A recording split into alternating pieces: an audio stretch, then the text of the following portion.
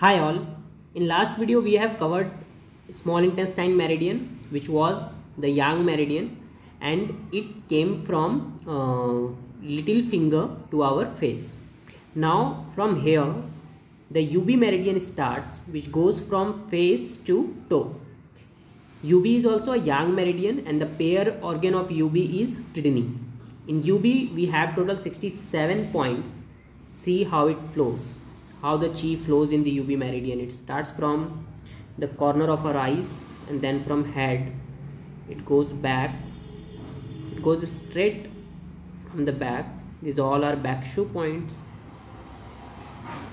These all are back shu points the red dots which you are seeing.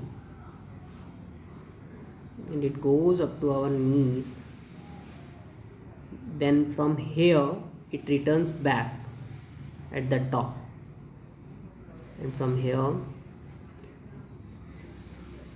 the UB meridian again flows down and it goes straight till our toes. It is the longest meridian with 67 points and it ends at our last toe.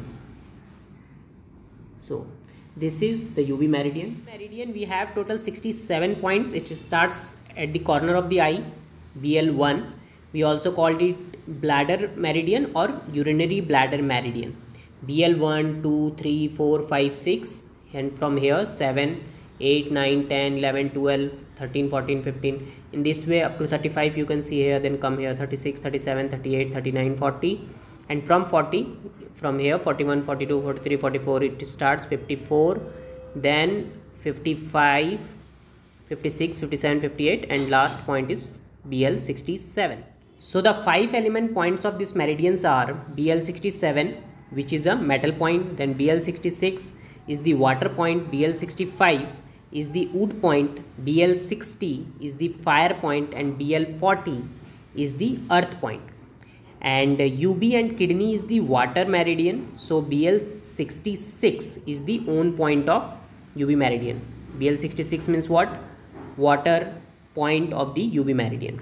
So in this way BL starts from the corner of the eye and at that end at the tip of the toe. Last toe. UB paired organ is kidney. So UB meridian will connect to the kidney organ kidney meridian so in next video we are going to see kidney meridian. Thank you